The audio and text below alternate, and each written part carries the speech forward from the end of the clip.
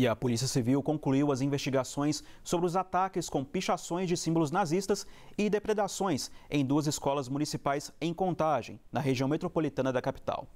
Quatro alunos foram identificados como os autores dos ataques.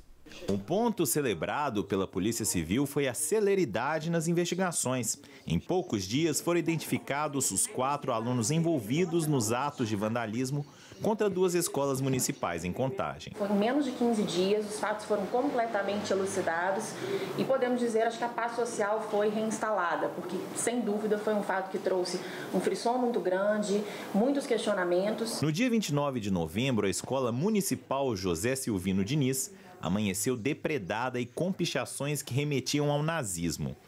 Já a Escola Municipal Professora Maria Martins foi apenas danificada com pedras na parte externa.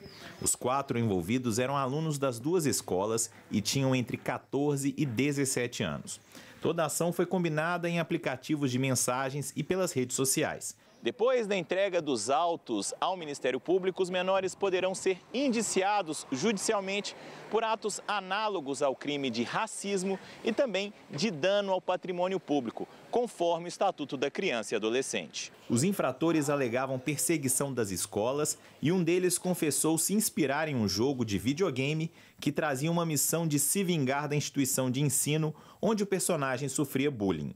Já sobre a utilização de símbolos que remetem à ideologia nazista e armas, os jovens alegaram que fizeram apenas para causar espanto. Os diretores ouvidos, os funcionários da escola, eles alegavam que eram alunos com um comportamento complicado. É, tinham alguns, algumas repreensões na, na ficha escolar deles. É, um deles é, ele alega que foi expulso da escola, a diretora, inclusive, foi ouvida, fala que não teve a expulsão, que ele foi ele foi comunicado que talvez não passaria de ano e, e a, os pais resolveram tirar ele da escola. Então, se sentiram perseguidos nesse sentido, de acordo com, a, com, eles. Depois do ocorrido, ficou alerta para os pais. O uso de redes sociais pelos menores precisa ser monitorado. Durante as investigações, foi apurado que todo o planejamento se deu via rede social, por celular, tanto por redes sociais e aplicativos de conversa. É, então, a gente orienta que crianças, adolescentes sejam acompanhados diariamente, monitorados, não com os seus celulares, porque o celular hoje em dia ele é uma, uma ferramenta que alcança é, um, um grande, um, um grande público aí que pode praticar crimes, atos infracionais nesse sentido.